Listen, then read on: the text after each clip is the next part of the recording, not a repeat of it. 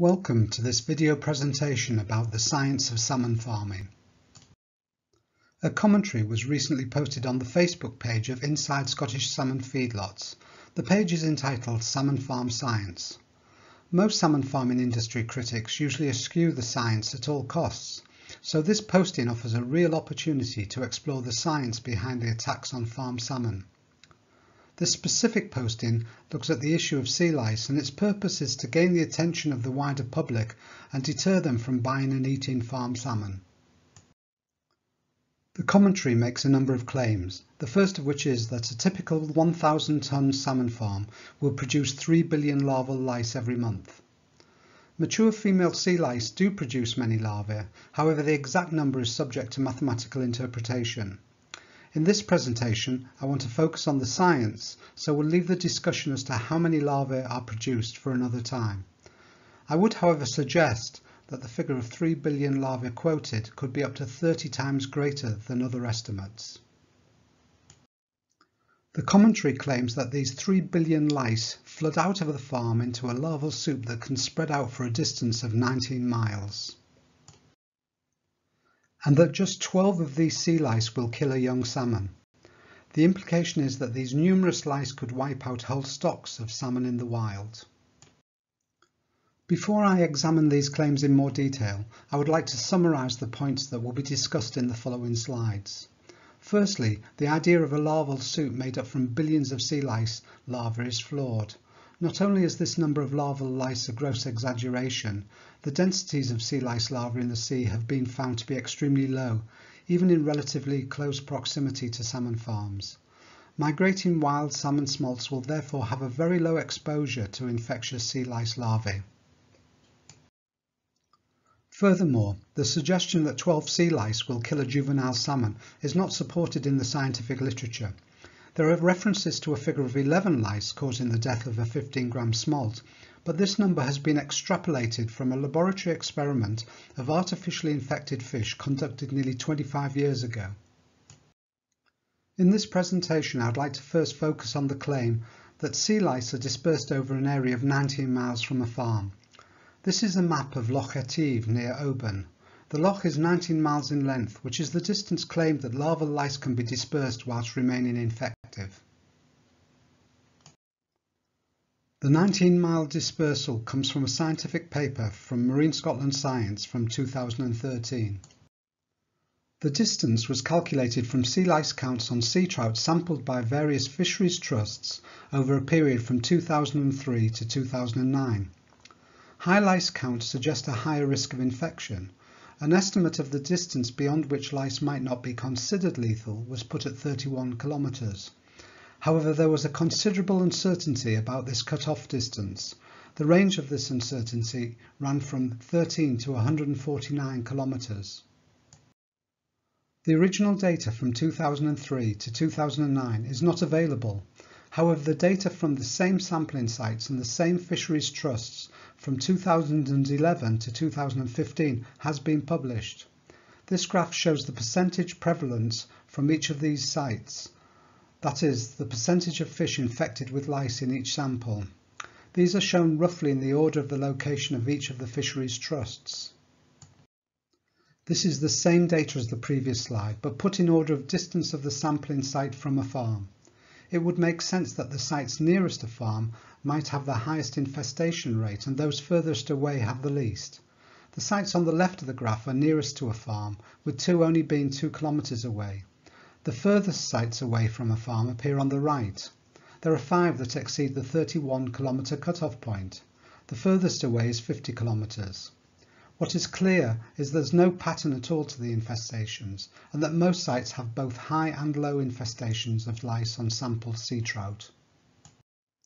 The usual method of measurement of lice infestation is by using sea trout as a proxy, as highlighted in the previous slides.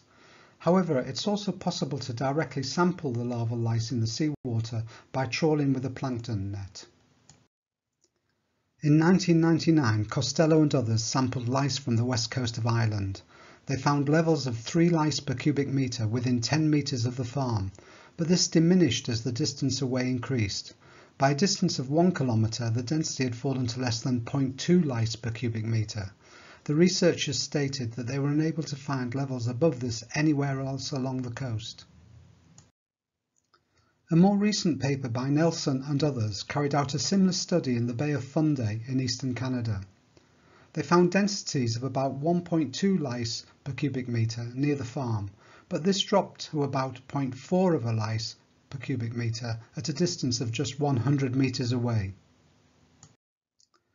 Using the data they collected, Nelson argues that a typical farm of 18 pens would have a stock of 450,000 fish and cover an area of just under 2 million cubic metres. Nelson goes on to suggest that if each fish carried two mature females producing 350 eggs each, then the theoretical density at the point of release would be 160 larvae per cubic metre. Yet over a five-year period and 1800 samples, the highest density found outside the farm was 2 larvae per cubic metre. The idea there's a soup of infectious sea lice is simply wishful thinking by those who wish to blame salmon farms for declining wild salmon stocks. I would like to return to Loch Etive to look at the theoretical dispersal of sea lice from a salmon farm. A rough estimate of sea lice production from a 1,000 ton salmon farm would be about 92 million larval lice. If these lice were dispersed over an area the size of the 19 mile long Loch Etive to a depth of just one metre, then the density of lice would be just over 2 larvae per cubic metre. In the open seas, that density would be much lower. I would also like to address the claim that research has shown that 12 sea lice are enough to kill a juvenile salmon. However, it's unclear what research this actually is. Thorstad and Finstad, who wrote a review paper for salmon and trout conservation, quote a figure of 11 lice. What is interesting is that they do not provide any scientific reference for this level of mortality. Thorstad and Finstad cite a range of papers without being specific as to the relevance of the content. A search through these papers identified that the figure 11 has not been derived from scientific experimentation. A study by Grimnes and Jakobsen in 1996 determined from a laboratory experiment that 30 pre-adult lice will kill a 40 gram fish. This is the equivalent of 0.75 lice per gram of fish. In 2000, Finstad and others caught smolts from the wild of a weight of 15 grams and calculated using the figure of 0.75 lice per gram, that 11.3 lice would kill these smaller fish. Whilst there's no indication that such mortality occurs in the wild, the researchers did not actually state that 11 or 11.3 lice would kill a smolt. Instead, the paper states that the lice may have a detrimental effect on the wild smolts of 15 grams. This is not the same as saying 11 attached or mobile lice can cause death of an Atlantic salmon post-smolt of 15 grams, as Thorstad and Finstad state in their review paper. So to summarise, a 1,000 tonne farm is extremely unlikely to produce 3 billion larval lice. The lice that are produced on salmon farms are quickly dispersed away from the farm in such low densities that can hardly be described as a larval soup. The number of lice calculated to kill a wild smolt has been determined from one laboratory experiment conducted 24 years ago. There is plenty of other data that would indicate that the threat to wild salmon from salmon farms is minimal, but these have been largely ignored by those who blame salmon farms for declining wild stocks. Finally, in the wild, sea lice have a life strategy and behaviour that is very different to that which opponents of the salmon farming industry propose for sea lice produced on salmon farms. Ultimately, sea lice have to find a host to survive, and being passively dispersed in the open sea would seem an extremely ineffective way of locating a migrating salmon. By comparison, most parasites have a complex life strategy to maximise host location. Sea lice are unlikely to be any different.